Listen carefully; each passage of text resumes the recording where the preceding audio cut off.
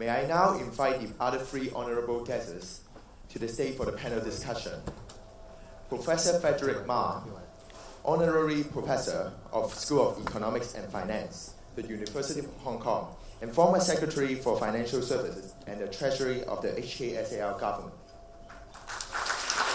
Mr. Anthony Leung, Group CEO of Nan Fung Group and former Financial Secretary for the HKSAR government. And Ms. Wendy Yun, Head of Commercial Banking, Wealth and Sales Management, Hang Seng Bank Limited.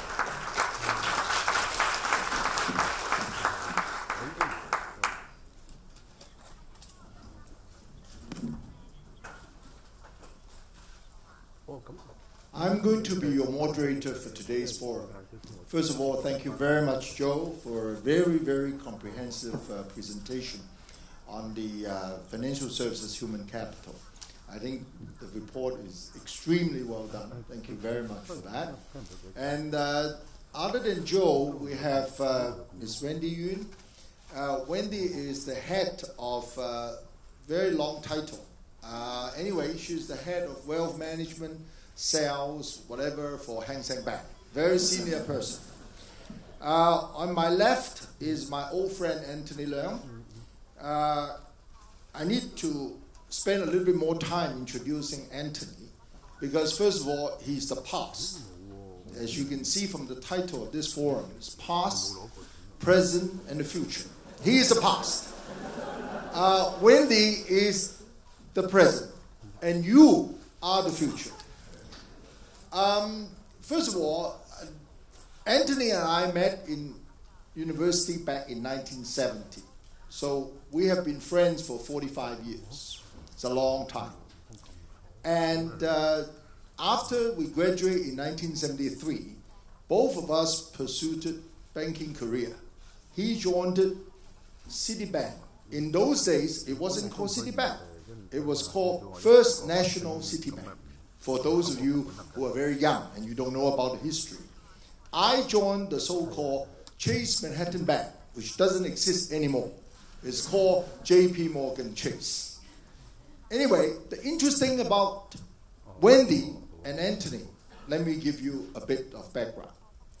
Wendy actually graduated with a degree in biochemistry, not in accounting, not in finance. So, for those of you who are not finance major and want to pursue a career in financial services, don't give up. Okay. Um, for Anthony, well, he studied economics like me. So called, what do you mean? At uh, Hong Kong University. So the interesting thing about Anthony is that although he had been with Citibank for a long time before he switched shop to Chase and became my colleague, he actually uh, had covered many areas of banking at Citibank, including corporate banking, I think you started as a management trainee, then into treasury, and then into private bank, investment bank, and he was later, you know, involved in management of the bank as the chairman of Chase, uh, J.P. Morgan Chase. Sorry, J.P. Morgan Chase. Then, then he left the bank to join the SAR government as financial secretary, as you know. So he left the banking industry for a short two years' time. Then he joined Blackstone, the private equity group, which is again, you know, asset management. So his involvement in the financial services industry is very long, probably around over, definitely almost 40 years, excluding the two-year um, short period in the government. This is the first question I'm going to ask Anthony. Joe has painted a very, very, uh, shall I say, a very rosy picture for career in financial services.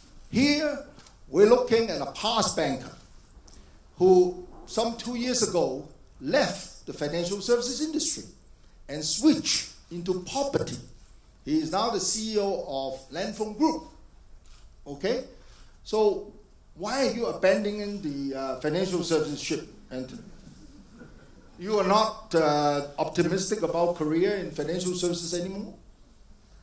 Well, first of all, thank you for the question. Uh, but I would like to also uh, pay my condolence to Dr. Rayson Huang. Uh, uh, Dr. Huang was our vice chancellor when Fred and I was in the were in the university.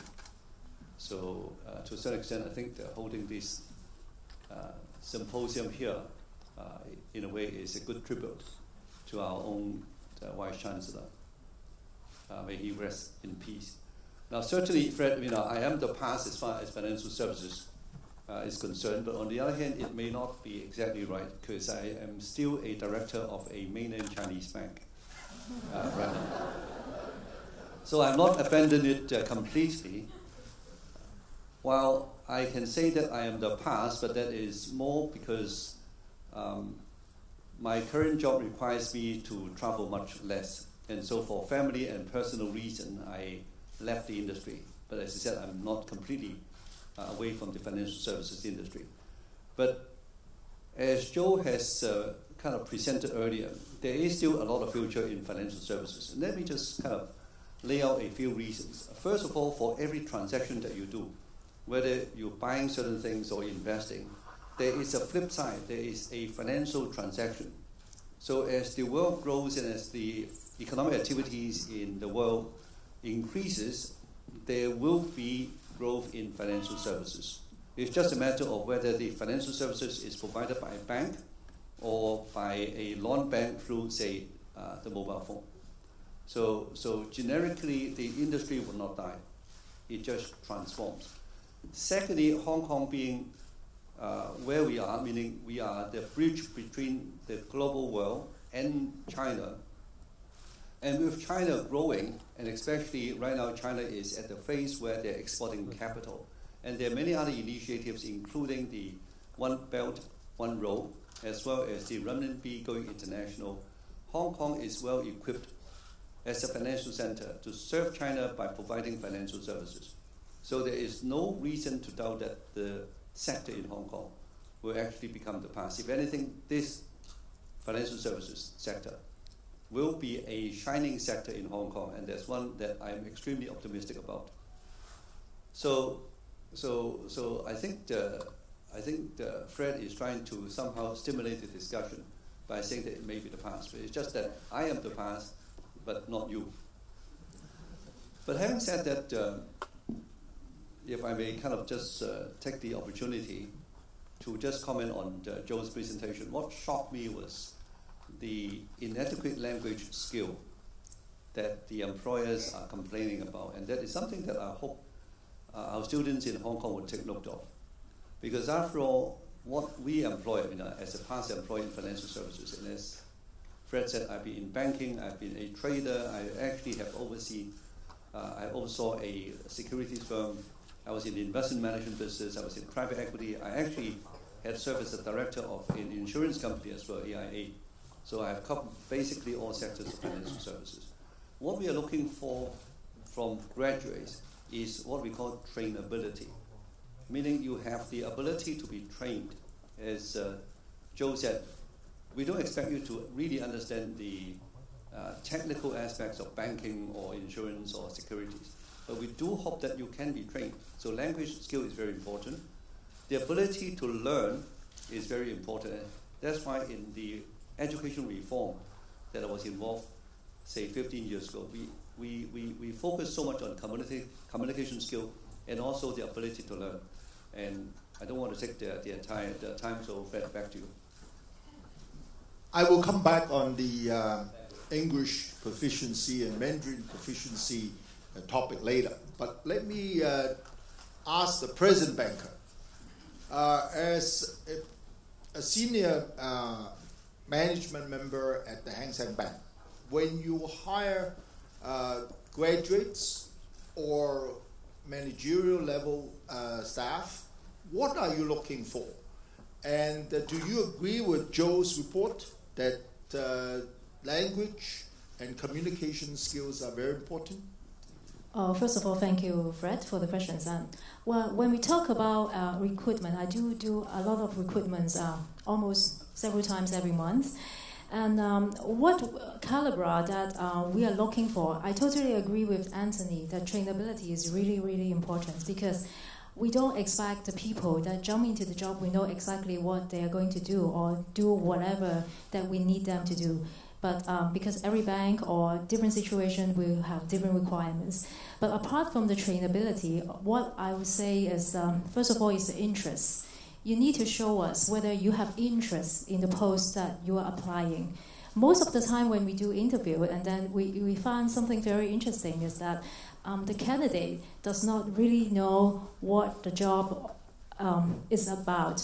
And so it, it do is a bit disappointed from the employer's perspective that, well, it shows me that you have no interest at all in the job because we believe if you have interest, you will have the energy to move on. And the second caliber is about the drive because, uh, you know, financial industry is very exciting and very challenging. It changes from time to time and under a faster and faster pace. So whether you have drive to move on and, and to accept the new things is really, really important. And finally, what I would say is that, and also from my perspective, I think is most important is the communication skills. When we talk about communication skills, it's not just talk. It's not just means that you're talking to people. Of course, talking to people in a very articulated way is very important. But at the same time, and then in the day-to-day business world, we need to negotiate and we need to liaise the things with the other people, other teams, or even within your teams every day how you use your words or how you use your resources to influence the others is really important. Um, maybe I'm not sure. Maybe because of our daily lives right now, we because of the technology, we do a lot of um, messaging. We use a lot of WhatsApp, WeChat, and that kind of platform. But in the business world, meeting, face-to-face meeting is really important. When you make a most important decision, you need to you want to meet with the people first. So how you talk and then how you influence the others in the meeting is very important. And uh, we did see some gaps right now when we do some when we ta- intake some new graduates or the new joiners to the industry. Joe, you said that you actually spoke to some 90 companies. Can you give us an idea what uh, these 90 companies are from? And, I mean, from the respective countries and Sure. you know, So it's, it's really across you know many spectrums in Hong Kong, across you know banks and insurance companies and all that.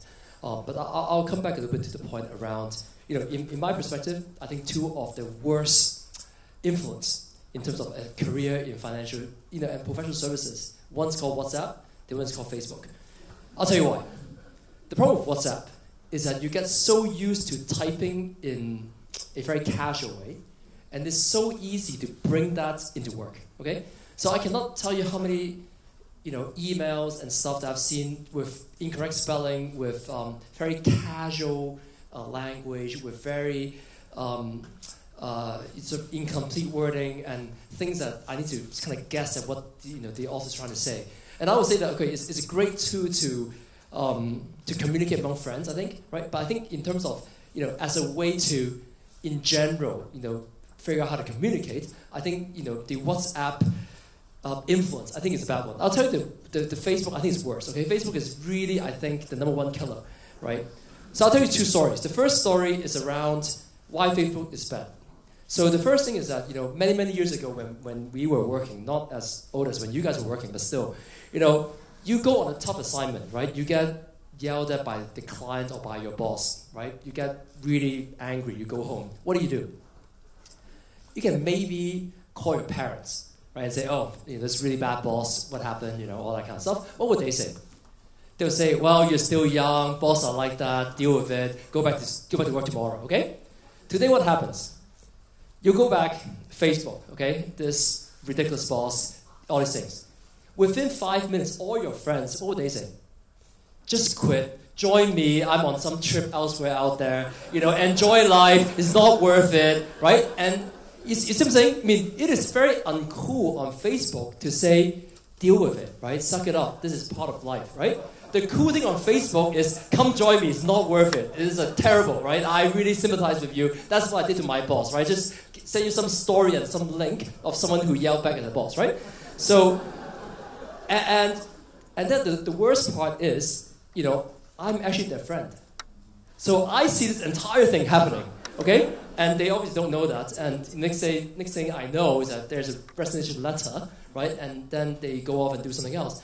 And, and it is in some ways a joke, but it's actually not a joke, right? I mean, I really think that today there's great things going on in communication. There's great things going on in technology.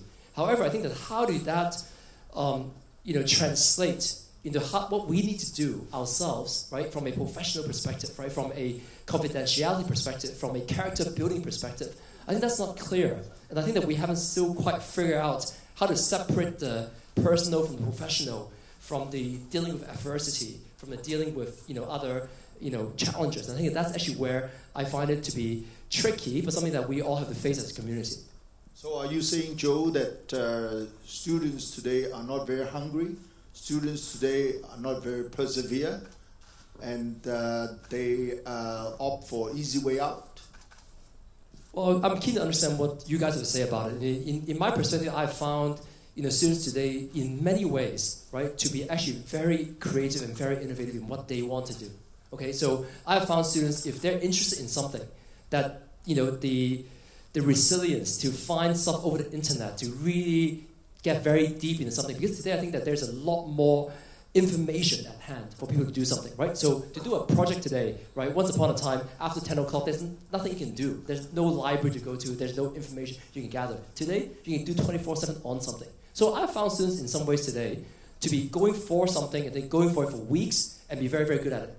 However, there's a little bit of a downside to it. So if you're not very interested, there are too many distractions around, right? So I don't know whether I can say that they're not as you know, perseverance or resilience. I would just say that you know, the interest level kind of overrides everything. So if I'm not interested, then I find that the level of perseverance to be very low. If I'm very interested, I've found the ambition and the ability to be very resourceful to extremely high, much higher than when I was growing up and certainly when you were growing up.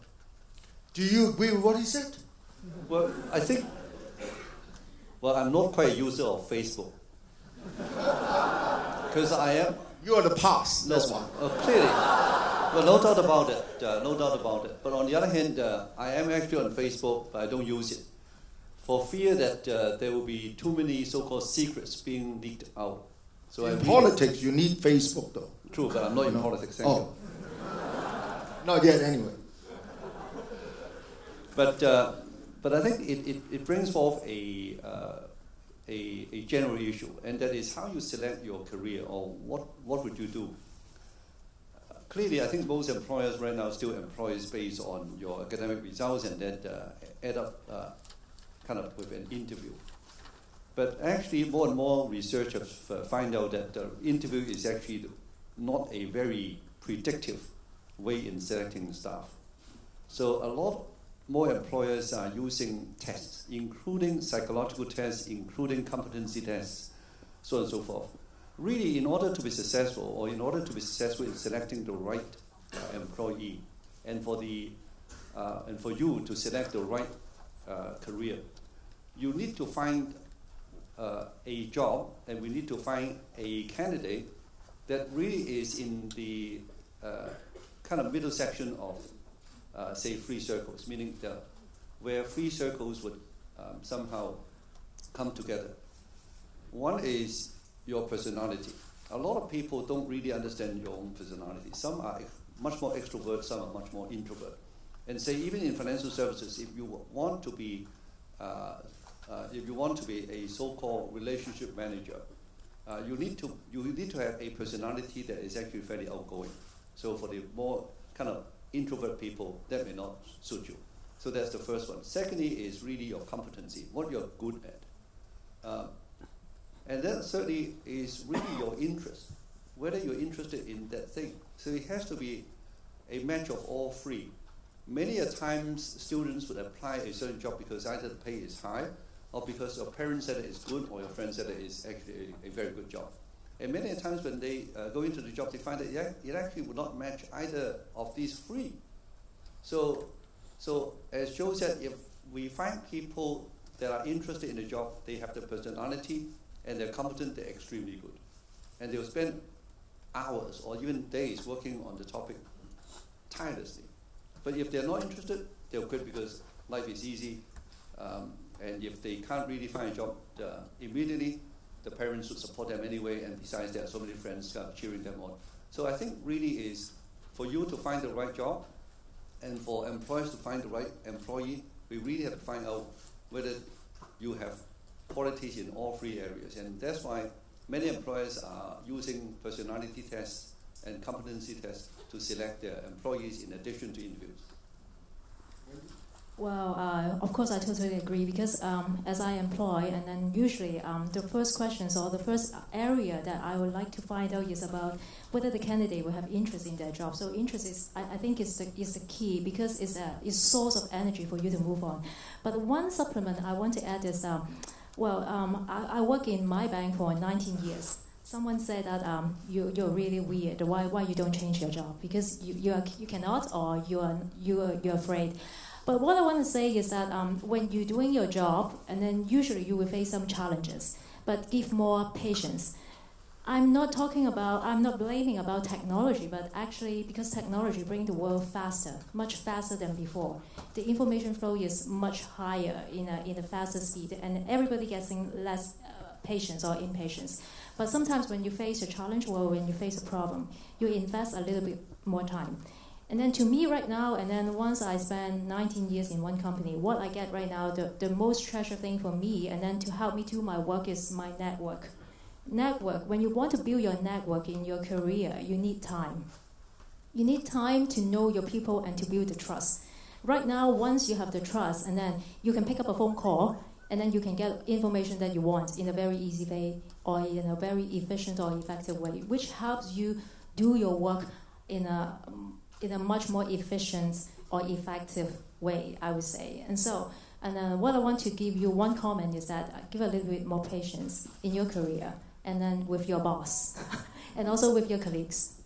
But uh, if I may add, uh, it sounds more like a career uh, counseling session than developing financial career. But I think this is something that, as an, a, as an employer, particularly an employer in financial services, uh, I would like to add and that is besides your kind of skills, you, you, you need to be very good in what you do and also pay attention to kind of, uh, uh, kind of your quality of your work. In Hong Kong, you, I don't know what the marking system is like. I mean, I say in, in primary schools and in secondary schools, the passing mark is 60 out of 100. So if you are 61, just like my daughter, uh, you pass and she will not waste more energy because it's a very efficient way in allocating her energy. So, so just pass is good. And but on the other hand, uh, say even for um, say her school, if you achieve 90 or above, you get an A. So you get an A, you, are, you, you feel quite good, quite good already. But in work, it won't work because like in Blackstone, and by the way, Blackstone is probably one of the best employers in the world. Uh, they pay even higher than the investment banks. Um, Do you mind telling us how much should they pay? okay, round number because uh, Blackstone employs people uh, based on just one scale, and that's the New York scale. So for an analyst, for a fresh graduate, they usually would pay, say, over a million Hong Kong. Um, so, so they have choices. But if we ask, say, um, a, uh, an analyst, which is the kind of the entry job, to do a spreadsheet uh, to write something. Blackstone hires you not to just um, let you do something that has 60% accuracy or even 90% accuracy. Because if you do your spreadsheet wrong, we will not care to check it or double check it. We rely on your, on your analysis and make investment decisions. And if you're wrong, we'll be losing lots of money. So um, employers like Blackstone would require 100% accuracy. And if you took, and if you make mistakes too often, then you're gone. Likewise, we do not hire people and let you write English or Chinese with a lot of mistakes, and we have to spend time correcting it. So, hence the message. If you want to have a job with a good employer, be it financial services or whatever, make sure that you do your work well in basic things like language, in basic things like uh, mathematics or doing spreadsheets, we do not expect you to be wrong. We expect 100% accuracy. I want to ask the question on the English proficiency. Um, in case you are not aware, Anthony was actually our Education Commission chairman. He was also the chairman of our so called UGC, University Grants Committee. And uh, Anthony, can you share with us why employers in Joe's report comment about our English efficiency? Uh, is it has to do with our medium of instruction in mother language, which you initiate? Well, first of all, I did not propose the mother tongue so-called as medium of instruction. I mean, obviously, a lot of people got it wrong. Said that actually, you were They introduced uh, mother tongue as the medium of, of instruction. Uh, I was at that point of time a member of the executive council. It was actually um, the then director of education uh, that proposed it to the first executive council of the HKSAR. Now, obviously, later on it got passed in the executive council. So, based on the policy of collective responsibility, I did not really come out and oppose. But before it was approved, uh, I think there are records that shows that I had a fairly rigorous discussion disagreeing with that approach. Because it's not so much whether it should be in English or Chinese, obviously that's important, but whether it should be all English or all Chinese. Why not differentiate according to the ability of the student as well as the ability of the teachers? Also, for Chinese, at that point of time, I did propose, and obviously there's a current debate going on in Hong Kong, that Chinese language should be taught by Putonghua. I mean, obviously there's also a science that shows that they would like our students to, to be better in Mandarin, but I would say it's probably better in Chinese overall. Because a lot of research have shown clearly that if you teach Chinese in Putonghua, your Chinese skill would be, writing skill uh, particularly, would be a lot better obviously as well as your Putonghua skill. But for English uh, as a medium of, of instruction, that is very important. But it doesn't mean that if you are if if you're being taught in Chinese, your English should be bad. A lot of this really has to do with reading. Reading from the very young age is extremely important. Obviously, uh, I would like our kids to read in both English and Chinese. But it doesn't really matter. As long as you're interested in reading and if you're good in one language, chances are later on in life you can be good in both. But too many of our students do not read. Now, I also come to the defense of the Hong Kong system. If you look at our top students in Hong Kong, I would argue that their language skill, English and Chinese, are probably as good, if not better, than our students in our days. It's just that nowadays we require each and every student to be good in both because the demand for students that are good in both English and Chinese is a lot more than our days. During our days, if you're not good, chances are you will not get into secondary schools anyway. You go to work in the factory. And if you cannot pass your exam in Form 3, you got kicked out. And only 1.3% of the age cohort during our days could enter university. And nowadays, if you add up all the sub-degrees and all, it's actually 80% of the age cohort. So the requirement is different, and also the so-called comparison or the comparators are probably not fair. If we compare today's top 1.3% of the age cohort, I would argue that their language skill, their creativity, and everything else is better than us. Pass. That was the past. And that's why we are the past. Well, I just want to ask um, another question. If you were given a choice, uh, this also uh, could be answered by you, Joe, because you did the survey, you did the report. If you were given the opportunity to uh, enter the financial services industry again as the future, like some of the students who are sitting here, and assuming, okay, one group is rather outgoing and the other group is rather uh, not so outgoing, shall I say. Okay, what job would you take, Wendy, in a bank? Well, um, well, depends on your personality. If you are outgoing, I think um, you naturally you like to deal with people, front office relationship managers, and that the one jobs or those jobs that you day to day you serve your clients and maybe a suitable job for you because actually you're outgoing, you like to talk with the others. But uh, on the other hand, I think financial services is very interesting because uh, the diversity is there. And then we have so many jobs. If you are not so outgoing, but your analytical skills are so good, and then there are lots of middle office analytical jobs and even back office jobs for you. And then you can also excel to the top levels. Yeah, I mean, I, I would say that you know these days, you know, as, as a survey, one of the things that really came to you know, um, is that you know it is very true that front office jobs is getting very challenging. Okay, because if you if you are you know a um, relationship manager of a large you know Hong Kong company, it's very likely that you will be required to actually understand a lot more around cross-border trade. Right, it's uh, it's getting a lot more globalized. Right, there's a lot of things that's going on overseas you don't understand. Right, if you are to serve you know Chinese companies, I think that you need to serve mainland clients. Right, in a very in a very big way, right? And you know, part of this is also understanding both you know the, the culture as well as communication skills, right? So I would say that in all front office jobs, the, if I may say so, right at the top of the industry, and it's getting very challenging. And I think that that's actually where if you, your aspiration is around doing that, right? I think that that is an extremely challenging job, and that's actually something where you know, I would say that um, it's great for someone who is outgoing, want to learn the rest of the world. These days, though, I would say that let's not forget that the mid and back office are very well paying and very secure job.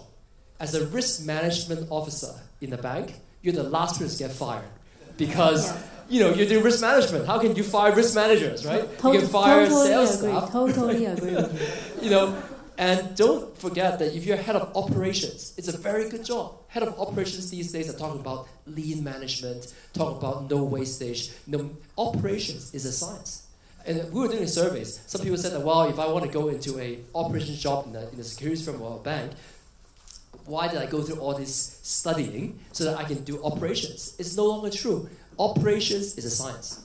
Operations is a profession, right? The people at the top of operations actually think about operation in a very different way than doing photocopying, faxing, and doing, you know, kind of back office job back there, right? So I think the world is going towards an area where every single discipline is getting very professionalized, right? And for us, the most important thing is to find something in there that kind of you know you can excel at it, right? And you're actually quite good at it, right? And I, you know, and I would say that operations, risk management, mid office. I mean, there are plenty of. I mean, and I would say from a risk reward perspective, I think it's well worth your time to investigate whether mid office is the place you want to be. Because front office, I tell you, when the wave comes, you know, you're the first one to get laid off, right? Unfortunately. Yeah, uh, one add-on, and then you know, and then give you a piece of information. You know the hottest job, and then we see the big trend within the banking industry these days: uh, compliance, um, risk management, financial crime, anti-money laundering.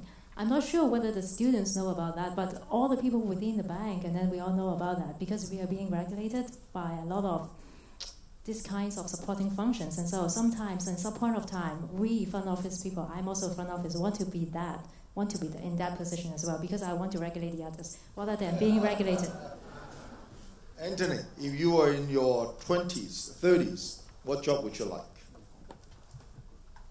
Well, I think, uh, again, it depends on your personality. Uh, I actually started off in banking uh, in the lending department, but I did that only for about a year, and then I was a trader.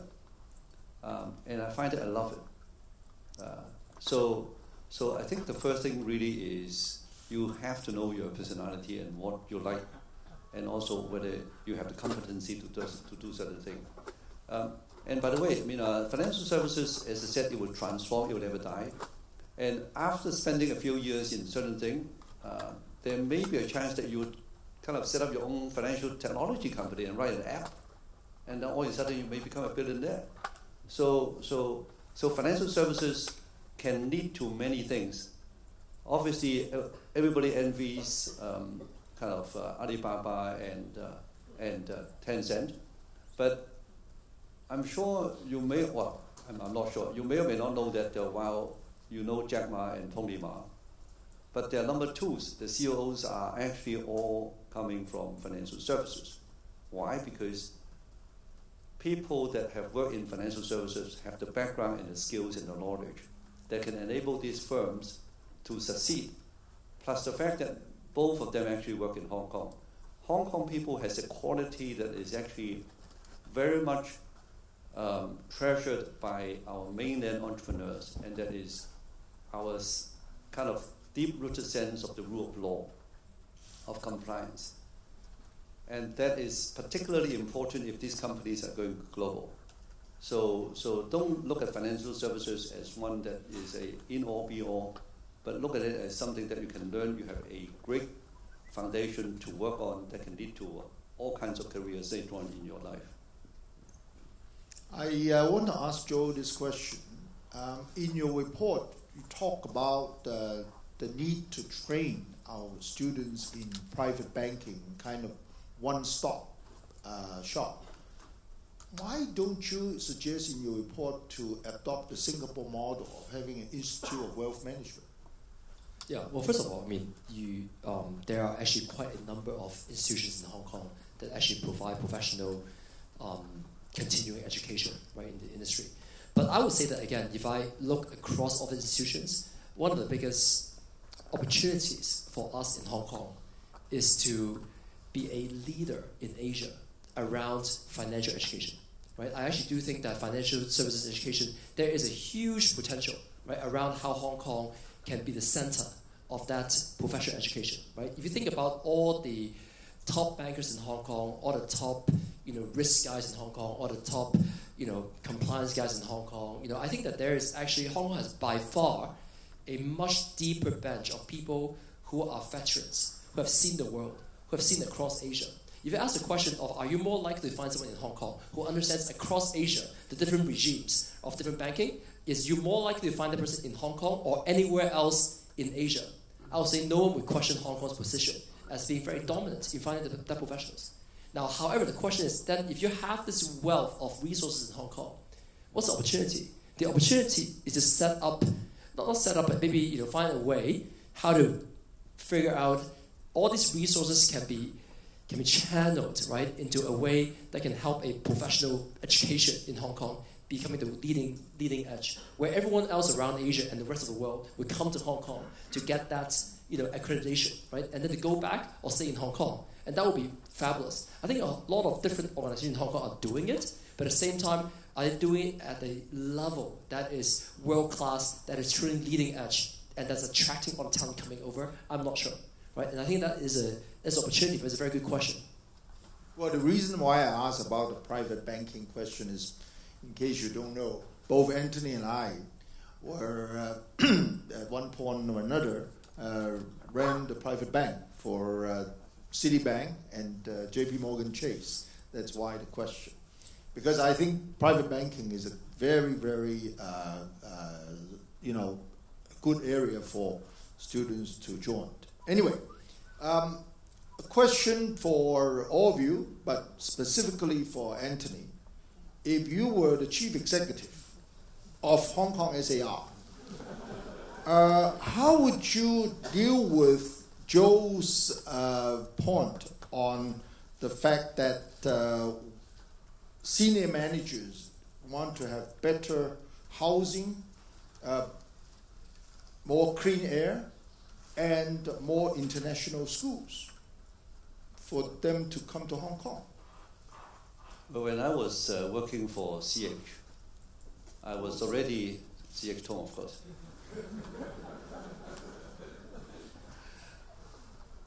I was already proposing. I thought you talked Lan Hong. Oh, I know. Sorry. Both are very good CH. But uh, I, I, was already proposing that uh, we should set up more international schools in Hong Kong. Uh, because in order to attract overseas talents, and Hong Kong should be a hub for talents worldwide, we have to take care of the education of their kids. Because after all, as we all know, you know, for senior executives, uh, our bosses are not really the partners in the firm, but I mean, uh, the partner at home. And if she or he complains about the kids' education, then chances are we'll say no uh, to going to this place. And unfortunately, we have not been kind of keeping up with the demand uh, of providing enough international schools in Hong Kong. As far as air is concerned, obviously we should be doing more, and hence at that point of time we introduced measures, as you know, to introduce the ultra low sulfur um, diesel in Hong Kong, and I think we can do more in that area too. Um, and as far as housing, for senior executive, that isn't really a concern. Because, I mean, uh, when I was kind of still in the financial services, I hired somebody from New York, and the monthly budget that we provided for that person, monthly budget for renting a house was over half a million dollars. So, I mean, uh, as, as, as long as the firms can make money, I mean, housing is not as much of an issue. However, I would say that housing is a big issue for everybody.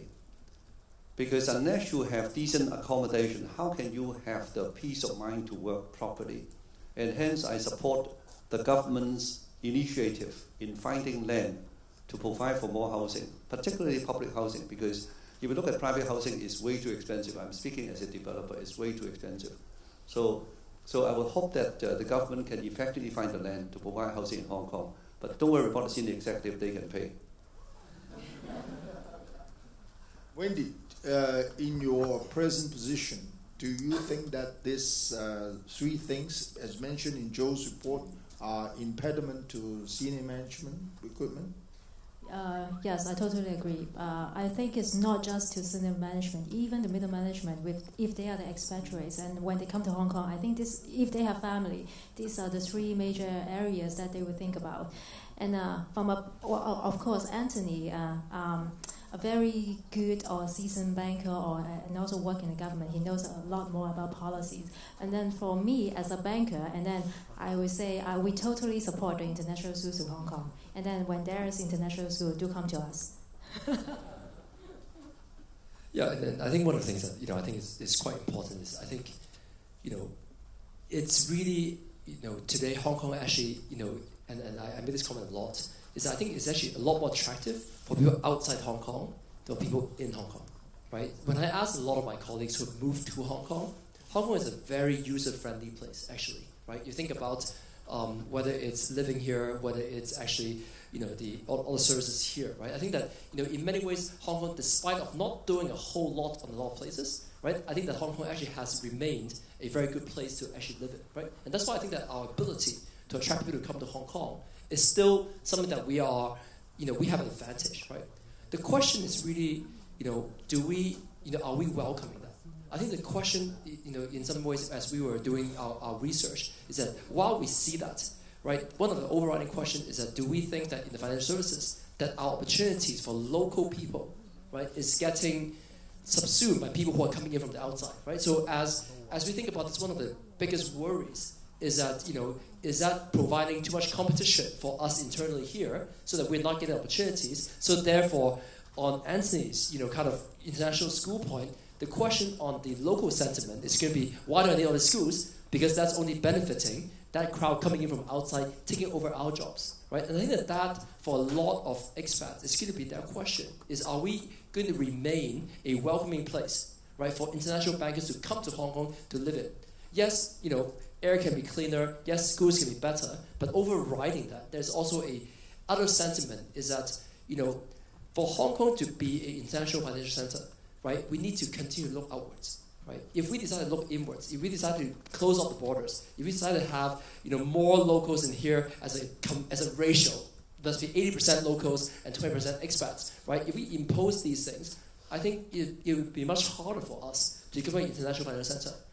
However, the sentiment within Hong Kong today, I think that there is some sentiment around how do we enable our local students, local people to have the opportunity. And I think that, that is a debate that we continue need to have because without having some resolution around that, I think the sentiment in Hong Kong is going a little bit on, on one way. And I think that whether the expats will feel like, well, am I, is it the right opportunity to come to Hong Kong today, despite all the benefits I see, there's a little bit around the emotional mindset as well as these physical, right, the schools, the living conditions, right, the air, which I think can all be overcome with more schools. But I think the overriding sentiment on top of it around am I really welcome? Is it a place that I want to come? Is something that we need to also come to terms with as a society. Yeah, I think uh, I would like to echo what uh, Joe has said. I talked to a lot of people, uh, including foreigners, and uh, right now our firm is engaging a kind of brand uh, building firm to assess how we can improve the brand of a certain project that we have. And most of them are from outside Australians, Americans, and French, particularly the Europeans. They are telling me that, look, he said, you know, I read all the newspaper in Hong Kong. I'm not, I don't understand why you locals are so negative about Hong Kong. He said, from us, coming from Europe, I mean, Hong Kong is excellent. You have plenty of opportunities because of China uh, and the rest of the world. It's a very cosmopolitan place, very safe, excellent healthcare, good education overall. Uh, obviously, the rental is expensive, but on the other hand, Europe is not cheap either. Um, and tax is extremely low. So they said, you know, there are now a lot of us Europeans moving to Hong Kong. So foreigners look at Hong Kong with kind of a very different eyes than our own people. Now, I will also say that the, the best enterprises in Hong Kong, they actually are also enjoying the fruits of our progress. And by the way, the best enterprises in Hong Kong are not afraid of competition. And it's only through competition that Hong Kong would prosper and thrive. But I think some of this so, so-called localism, uh, which is a term that I don't quite understand, um, this sentiment comes from people that may not see that the progress in Hong Kong, economic growth and all, are providing them with enough opportunities. And I think we should think hard about how we should kind of provide opportunities for our people, not just for the kind of best enterprises. And I think that is an issue that we have to think about. But on the other hand, I would hope that Hong Kong people would not feel that because they are feeling that they are outcompeted, that we should close our door. Protectionism has no future, particularly for a place like Hong Kong. We should, as uh, we have said many times before, Hong Kong should be a place that can attract both talent and capital. And between the two, talent is more important than capital. And we should be just developing talent, not just locally, but also attracting them from the rest of the world, retaining them there, uh, here, and developing them. Because all these overseas talents can create jobs for our local people as well. Well, yes, um, I agree no more. And I want to give you two examples, or uh, one example and one comment. Uh, talking about, uh, I want to use an, um, an example from an international school. Actually, one of the very famous international school, international school uh, newly established in Hong Kong, the principal told me that they do have schools in different places in Asia. They have a uh, school in Thailand, they have schools in China, they have one site in Hong Kong. And the Hong Kong site, you can't believe it, is the easiest one to find all the faculty when once they announced they established a school in Hong Kong, to find a teacher, the faculty used to be the biggest problem for a school to set up for your information. But for Hong Kong set up, they have no problem at all to recruit the whole suite of faculty. And I think Hong Kong do have its own attractiveness, and this is something that we need to preserve. And uh, as and also as a member, as a worker in the finance industry right now, and then I, am so glad that Fred said I'm a pleasant. And then, well, I do welcome the the establishment or the more company come to Hong Kong to establish their office. Talking about asset management, because of the taxation, the simple taxation system in Hong Kong, and then also because of the growth of wealth in China, Hong Kong has a natural competitive edge to become the asset management center in whole Asia. And then if the company is not coming into Hong Kong, how can we have the critical mass? And then what we are seeing as a practitioner in the industry is that we want the pie growing we are not seeing the competitiveness. We are not seeing the other people taking our job. But what we see is that they come here to create more jobs for us. And also, if they are so well established in the other part of the world, why don't we let them in and then we learn? And this is our future. Well, talking about the future, I think it's time uh, for me to invite the future to ask the three speakers questions. So, any future bankers who would like to ask questions? Yes. Uh, student in green. I assume you're a student. Earlier, year three students studying in Hong Kong U. Um, I would like to ask about technology. Um, I saw in the report uh, from uh, Mr. Joe Ngai that uh, insurance front office has been uh, an area with huge demand. I wonder, uh, would there be any chance in the next 10 to 15 years, let's say there is like Alibaba set up an efficient insurance um, electronic platform selling some standardized insurance products, it will hugely affect the demands of insurance, or to a broad extent to the whole uh, to all speakers. Um, which area in banking do you think will be much harder to be replaced by technology um, in next 10 to 15 years in financial service? Thank you. Joe. Yeah, no, that, that's a great point. You know, um, as McKinsey, one of the things that we have been working with our clients these days, every single day, there's people asking us, okay, internet finance, what's the future, what are we doing, and all that. And you can imagine every day I'm in China, that's the question that they ask me every single day. Look, I think that the, I think that the technology has, you know, has will impact the financial industry in a very big way, right? I do think that you're seeing a lot of that right now uh, in China. I think you're seeing that a lot of that right now in many countries. I think it all it, it starts with payments, obviously, right? So if you look at payments today, a lot of payments um, traditionally are through credit cards, but today there's actually a lot more proliferation right around payments, around how you actually get paid, uh, whether it's person to person and whether it's actually through some other um, payment system. I think that it will also affect what we call the distribution, right? So today, um, the way how you would want to buy a financial product, right? Um, would you want to have a person in there, or are you what we call the you know people who um, are very good in self-selecting, right, or, or, or self-directing, right, your, your business, whether it's online banking, whether it's through online insurance or others. So I do think that technology will have a very big role in disintermediating a lot of people. However, I do think that you know it creates a few more dynamics that's very important to understand. The first thing is that what technology will replace, it will replace all the very simple things. Okay? So if you have no more value, and I think that we've seen that in stock brokerage, okay? People who used to be able to answer the phone and to put in an order for you to buy some stocks, right? You actually have no role in the future, right? Because if all you're doing is taking an order of stock and placing it down, right? People do it through electronically, right? People do it through the phone. People have different ways to actually do it, and that is already gone, okay? Now it will continue up the value chain, right? If you are just talking about a very simple financial product, right? Like travel insurance, right? Why do I need someone to tell me travel insurance? I can just buy, look at the terms, I'll buy auto insurance, right? If I have a car, I just need to understand what's the legal requirements and buy it, I can do it, right? So as you go up more and more, the simple products, the simple things, you know, and it's not only in, in financial services, right? Maybe in teaching you haven't, right? So the simple things that you can learn online by yourself, self-directed, will all get replaced by technology.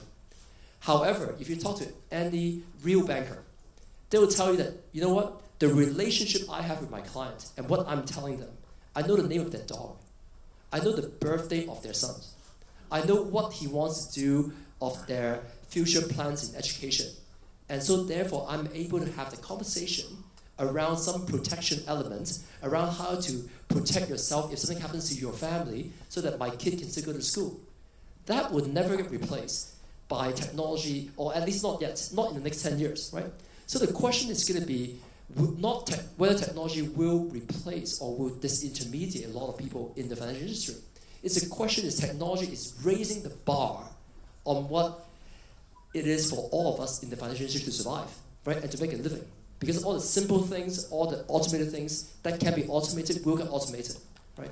So I'm a firm believer that technology will change all these things dramatically. I'm a firm believer that technology may replace more jobs than it creates, maybe in some ways. But I'm also a firm believer that if you have value, right, and you can have a real conversation, and you have a real relationship, right, I think that the banker who is there servicing a financial need will be around for the next hundred years, and that can never be replaced by any computer, right, or any iPhone, any WhatsApp, right. So I think that that's going to be where I think the bar for all of us is, and unfortunately, that bar has risen, right. In Anthony's and Fred's day, that bar could be, I can write English, right?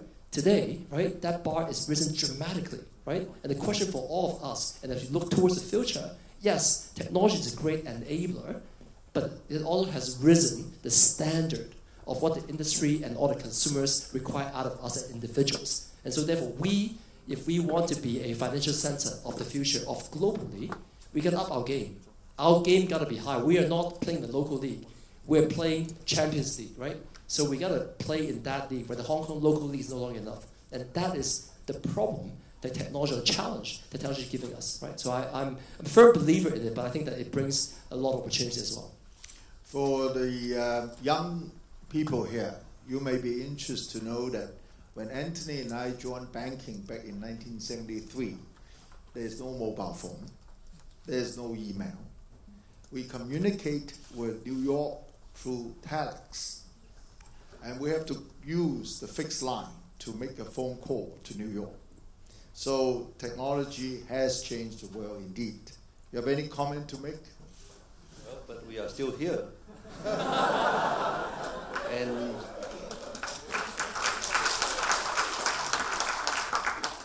in the future world, or should I say in the present world, you know, you better be a master of technology rather than slaves of, or slaves of technology. If the master, you have a great future. If you're a slave, then God bless you. Yeah. Okay, my turn. And then, as um, also as a petitioner in in the banking industry right now, what I will respond to your question is that actually the banks embrace the change. We take the technology and then we really um, move along with the change and also with the development of technology. And the one example is that we used to have the very traditional uh, banking operations where uh, everybody deal with the banking transaction in the branches. And of course, several years ago, everybody moved online, and then now online banking take a very chunky share of overall banking transactions. And then right now, what the banks are doing is that we move forward. We actually move along with the development of technology because the next phase, what we see will be the boom of mobile banking. So actually, all the people working in the banking industry is not afraid of the change or afraid of the technology or being replaced by technology because we actually we move on. And then now we are moving to the next stage. And then all the products we need to integrate with uh, daily lives because banking is just something that you need to deal with on day-to-day basis. And so uh, integration with technology, we move along with technology is our future. Yeah, if I may also uh, kind of comment on a slightly different direction. You are challenged not just by technology, you are challenged by competition from outside too, particularly by the so-called mainland uh, students. And I believe that is uh, one of the sentiments that Joe commented on, that mean, uh, a lot of banks, a lot of private equity firms, uh, uh, and also investment banks are hiring students from the mainland. And I would say, yeah, you know, that, that, that is happening. Uh, and the reason is very simple because China, whether you like it or not, is now the second largest economy in the world, will be the uh, largest economy in actually uh, no time. And for all financial institutions, including foreign ones, China is probably the number one potential market. So we want employees to have a very good understanding of China, not just their language ability, but also really deep understanding of how China works. They understand the geography, they understand the history, they understand the culture, they understand the politics, so on and so forth. Um, and obviously, for those people that are from China, maybe they have a certain network too. But it doesn't mean that we only hire people from China because where Hong Kong thrives and Hong, and, and Hong Kong can actually compete is that our people should both understand China because we are Chinese as well as understand the rest of the world. So, yeah, it is a tall order. We have to understand both. But on the other hand, this is where Hong Kong would excel, and this is why Hong Kong is still the international financial center in East Asia. So when I read news about mean, uh, students saying that, look, you know, if you force me to go to China, I'm going to protest and that kind of thing, I was asking why. Why? I mean, uh, I think that whoever proposes it is really well-meaning. They really want our students to understand the largest market in the world. And if you don't understand, you are really giving up one of your major advantages. So, so I actually don't understand why people would resist. Um, now, clearly, just understanding China is not enough. You have to understand the rest of the world too and you have to make sure that we use the institutional advantages of Hong Kong, which is the rule of law, uh, freedom, so on and so forth. But understanding China is very important for you from your career point of view. Another question. Uh, I'll give a chance to a lady. The lady in green. Yes. Yep, thank you very much. Uh, I want to ask a question to Anthony because I am uh, an econ student and now I try to find a job. But one question always consume, uh, confuse me that uh, when I try to find a job, should we just uh, select a sector in the finance, financial service industry, or just maybe look around for all the position we can? Because, um, but someone told me that we should uh, stick to a sector because if you find a job, you go go to a sector, and um, and then your experience will be accumulated. If you switch another sector, and then your experience will be discounted. But as in terms of your experience, I find you seem to involve in all the sector of financial industry. But but uh, as for your success, you are so that successful that uh, it couldn't be said that your experience is discounted. So, what's your comments about this? Well, obviously, people would have different views on this one. If you just want to be what I call a transactor, then you probably should focus on one area. But transactors are probably um, not the most senior level jobs in almost any organization. I would say this because you would you have to expect that you will live till 120. So you have a very long life in front of you. The world is going to change so much that whether you like it or not, there will be a lot of changes to your career and maybe to your family. So one, be prepared for change. And secondly, in today's world, unlike in the industrial world, where in the industrial world, we encourage people to specialize so that you, know, you would do certain things well and do repeatedly so you either have economy of scale or the learning curve effect, so you lower the cost. But nowadays, we already have entered the knowledge economy, or some would even say it's a creative economy. And in the knowledge economy, it requires that you have a broad base of knowledge and you somehow can kind of somehow find synergy in all and not just that you not only have the functions, you have to do it, you have to add the design, and also be able to tell a good story. So it requires multiple skills, and hence, in the last education reform, we advocate that people should have a broader knowledge base, and hence, I mean, uh, we somehow, uh, and we recommended that universities be four years instead of three years. I'm not going to dwell on education too much uh, in this forum. But on the other hand, what I'm saying is, you should have a broad base of knowledge as well as experience. Especially when you become more senior or when we're looking for senior managers. We want people not just with one specialty, but the ability to actually synthesize a lot of things. And the broader experience you have, chances are you, you'll be able to make decisions better and with a fresh angle that differentiates you from a competitor. To a certain extent, if you look at my career, it's not just in multiple areas in financial services. I also have done a lot of what I call extracurricular activities. I have always had all kinds of other things. Like I formed two alumni associations. Um, I have engaged in public service since uh, since I was uh, 35. Um, so this multiple experience enables me to have a perspective that my other colleagues may not have, and hence I was fortunate enough to be a senior manager, actually a regional manager at, at the age of 30. One thing that, uh, that, as I said, since you have a very long life, you have to expect change. There is a research, or there was a report that predicts that in your life, you, you, are, you will have, on average, 11 jobs and change professions four times. So to just specialize in one doesn't really fit the world of the future. Yeah, thank you so much. Okay, uh, anybody from, uh, how about the students? Uh, yes, the, in uh, classes. Um, good afternoon. I'm Brian, a year two student from Faculty of Business and Economics. I would like to pose two questions to our honorable speakers. First, what is the outlook on the future of Hong Kong's financial industry? Second, what is the Hong Kong's advantage when it compares with other Asian financial centers like Singapore or Shanghai? Thank you. Um, my point of view, uh, I would say, uh, of course, some people, I do heard about some comments that um, is the financial industry become a sunsetting industry. Of course, I do not agree. I think on the other the other way around, I think it's a booming industry because why I say so because well, uh, I think um, when we analyze from the perspective of Hong Kong, and how Hong Kong played a role uh, among the world, or in particular in Asia.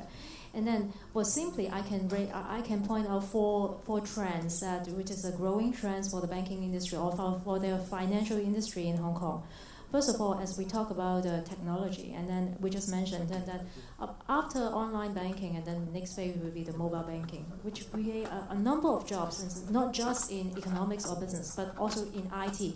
IT is a hot job when we need to develop some technology, when we want to integrate the banking or the other financial services into this um, mobile um, device. And then the second, and then as I mentioned, the asset management center, and then Hong Kong do have an edge because of the taxations, because of our proximity to China. And then, you know, mainland is actually a fastest growing economy in the world. Its size and also the, the pace of the growth is something that we cannot ignore. And then for the people working in Hong Kong, no matter you work in wealth management or corporate banking or retail banking, you deal with um, you deal with the flows or the business with um, linked to China day to day, and then with that, and then it is a it gives us a natural competitive edge to be the, the asset management center in Asia. And apart from that, and then also after financial tsunami, and then as we mentioned, and then one of our job is compliance, and then the risk control is also linked to the financial industry. And then simply, I can cite um, many examples that there are many trends and then happening, or many things happening within the financial industry, which help to create or the growth of the industry and also create more jobs. And so, what I say, uh, what I think is that the financial industry actually is booming, but just in different forms and also in different in different um, jobs and then created. Do you, do you want to comment about Shanghai or Singapore? Oh. all of them have a thriving financial services sector. But as I said, Hong Kong should not be afraid of competition. China is, well, Asia is a huge market. And so, just like uh, other continents, you can have multiple financial centers. What I think uh, we should compete on would be one, compete on our strengths, and that is we already have a thriving and a very large financial sector. Um, in financial markets, it is somewhat like the um, the markets for talent, and that is the more liquidity you have, uh, you attract even more liquidity. Meaning, the more money you have, you attract more money. Likewise, in any the talent hubs, the more talents you have, the more successful you will be in attracting talents to Hong Kong or to that place. And so, so I, I keep on coming back to Hong Kong should try every means to be a talent hub as well as a financial center. So joy choi, joy choi, uh, both talents as well as uh, kind of money. But, uh, but Singapore has its strengths too. Uh, I think it serves mainly the, the ASEAN markets. Uh, they want to serve China, but it's a bit far away from China. Shanghai is obviously a great market, but on the other hand, uh, is very much still a domestic market. For financiers, uh, for international uh, investors, we still like English law or common law the most and Hong Kong practices common law. And hence, one of the things that we must ensure that Hong Kong would keep is our rule of law.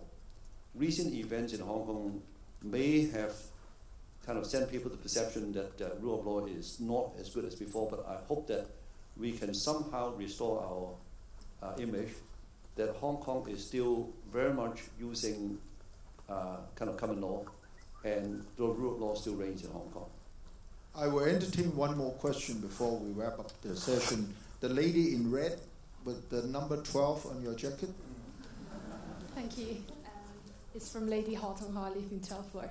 So, um, just adding on to the positioning of Hong Kong as a financial center, um, you mentioned that Hong Kong has a very competitive tax taxation structure. I'm just wondering, what do you see uh, in terms of like a global picture? such as from Ireland. Ireland has a 12% corporate tax, whereas Hong Kong has 16%. And that there is a thriving industry in aviation finance uh, currently, and one of the Irish university, UCD, has already set up aviation finance in master degree. So to adding on the asset management institution specialization you mentioned on earlier, so the industry be is becoming more and more professionalized. Do you have any plans in, in proposal to to welcome this opportunity in terms of um, education or tax reform? Or and, and my second question actually echoes with the, the other guy uh, earlier on. It's about uh, positioning with Shanghai and Singapore as an entry of China because uh, both of you mentioned earlier on that the English proficien- proficiency in Shanghai institutions is not is not worse than Hong Kong, and that uh, the mainland students stand an edge in terms of cultural understanding of the Chinese. So, do you think Hong Kong will stand at a disadvantage in terms of that? So, these are my two questions. If I may uh, direct the first question to Fred Ma, who used to be the Secretary for Financial Services and Treasury, and the second question to Joe Ngai, who, who kind of somewhat advises clients uh, a lot on this issue. Actually, Anthony, I think you have forgotten the fact that you were the financial secretary who raised the corporate tax rate.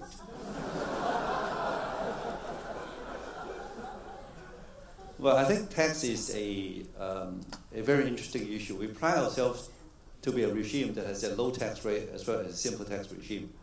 But at that point of time, if you compare our tax rate with that of Singapore or Ireland, as you said, I mean, uh, the gap then was bigger. Now the gap is actually quite narrow. And we should really think about uh, whether we should make changes to our tax regime so that we can attract the activities that we like to Hong Kong as well as broaden the tax base. But that is actually for a different uh, kind of time of discussion. Um, but I think we should think about what would attract activities to Hong Kong. And by the way, while tax is important, uh, that may not be the most important. Because if you can make money, companies will not mind paying corporate tax. And our tax is actually quite competitive. But if you somehow can clarify on certain points, like, you know, I think just it's only just recently that we clarify that offshore income of, say, private equity activities will not be taxed. Uh, that, I think, would provide uh, a lot of attractions as well, because for tax, it's not just the rate, it's the simplicity as well as the clarity. Uh, but I think that we would, or should I say, I think we should all discuss and make proposals to the government so that they can really make Hong Kong a place that can attract more economic activities, of, obviously of the right kind, and uh, more talents to Hong Kong. Joe, would you mind uh, taking on the Shanghai, Singapore question? Well, I think that you know one of the things that everyone's very concerned about, right, is the Hong Kong competitive positioning versus other centers around the world. I, I'll just say one thing, right? It is our game to lose. Okay, I think right now, if you ask anyone in Shanghai, anyone in Singapore, I tell you deep down in their heart, they want to be us. Okay, the question is whether we want our future to be brighter than theirs is completely in our hands. Because right now, if you think about Tianxi data, we have actually everything on our side. Okay, they don't have the market, right? We have the rule of law, we have the tax, we have the regime, we have the people, we have all that. The only question is going to be, you know, in 10 years' time, right, are you going to be making the money or is someone else to make money? For the next 10 years, we'll be fine, right? And that's a question in my mind for Hong Kong, right? Is if we take a preservation mindset, that we preserve everything here, right, and milk it, we can do it for the next 10 years, right? The question is for the future, right? Will you be able to to, to, to, to have that. And you know, it's our game to lose, right? So in all areas, right, whether it's asset management, whether it's wealth management, whether it's investment banking, whether it's corporate banking, I mean, in every single place, I mean, I would only see that um, if we get our act together, and that's the government, right, um, the stakeholders, um, you know, LegCo and everyone together. If, if we are all in one mindset, right, we can make it happen. Unfortunately, in Hong Kong today, that's easier said than done. And that's really sort of our battle right, with everything else going on here. But just remember one thing, right? If 20 years from now, and you here see the Hong Kong Financial Center place, right, is actually lower than Shanghai, lower than Singapore, remember that we lost it, right? It is our game. Um, I want to wrap up this uh, forum by asking uh, Wendy and Anthony, both are, uh, you know, professionals in the financial services industry, one question, and that is, Many of our young people today worry about their upward mobility. From your perspective, do you see another Wendy Yun from the group here, another Anthony Leung from the group here in, say, 15, 20 years' time? Well, I see a lot of Wendy's, or even better, Wendy's out there, but may not be Anthony because he's already a 大佬. Oh, we always say that. Well, in terms of upward mobility, I don't, I don't see any problem at all. Actually, what I what in my perspective is that the financial industry in Hong Kong has the breadth and also the depth. Actually, all along the career ladder are so steep, so steep. And then we are not just talking about one job or one specific jobs or in one particular sector. Actually, there are so many sectors. No matter you're talking about banking, no matter you're talking about insurance, no matter you're talking about asset management, all have very steep career path or ladder. And why I say so because actually the financial market in Hong Kong is so attractive. And then well we do have our present competitive edge. And then we do attract a lot of people. Still a lot of outside companies are, are, are moving their offices in hong kong establish the business here. And so to answer the question is that we everybody in the financial industry or for those who interested to join the financial industry is that we should have the confidence and then we should embrace the change. And then we should welcome the competition we should attract them to come to hong kong. Because if we cannot grow the market here how can we have how can we create even more senior positions? And then the upward mobility also linked to the development of the industry. When the industry is booming when we have the market in our future i don't see a problem at all. I don't really want uh, people out in the audience and also in the community to become another Leung because he is a failure. But um, yeah, I mean, um, got kicked out of the financial sector and now uh, have to work in property firm. But no, you you but, quit, not kick out. But joke, but jokes aside, I mean, you uh, kick the industry out. But jokes aside. Uh, I actually think that uh, there is plenty of opportunity for Hong Kong people to enter the industry and to thrive and to move upwards. However, people will have to prepare that you have to work very hard uh, and also be very mobile. I saw some surveys that uh, among our students, uh, most people would not like to work outside Hong Kong.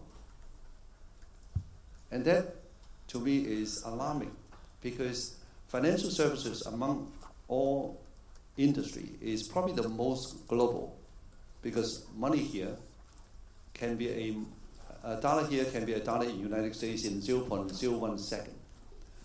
So, so financial services is truly a very global industry, if not the most global industry.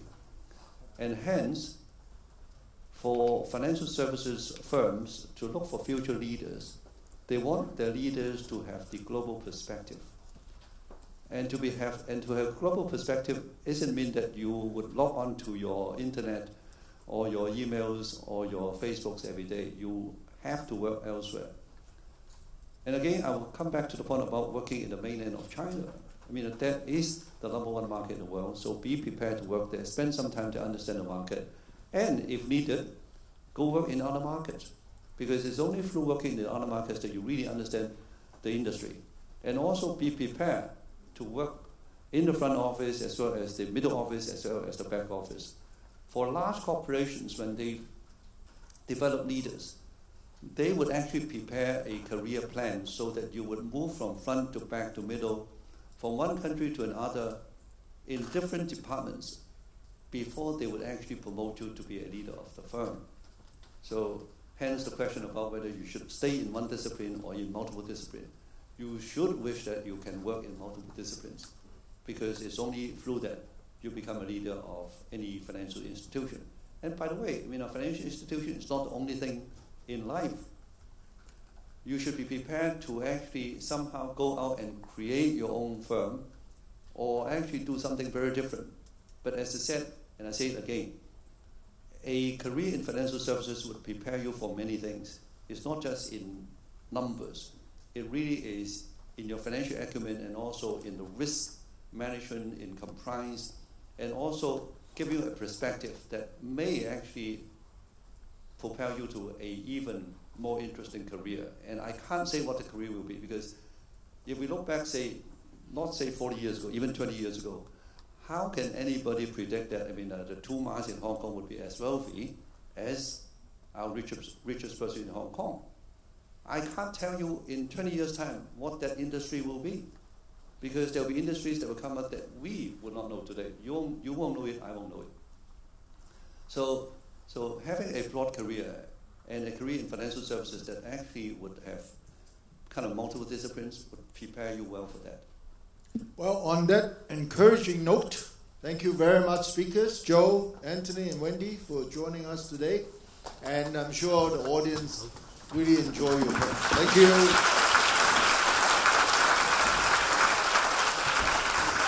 Thank you very much for your insight. And please remain on stage. We now invite Dean Chang to present souvenirs to our honorable guests today as a token of gratitude. Miss Wendy Yun, please.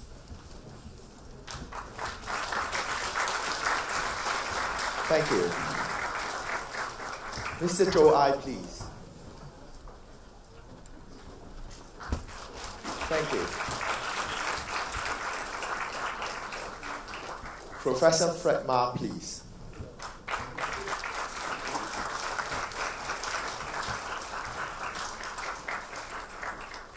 Thank you. And Mr. Anthony Leung, please.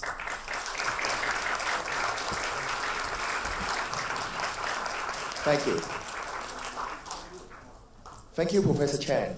May I now invite the Dean and four honorable guests to take a group photo, please.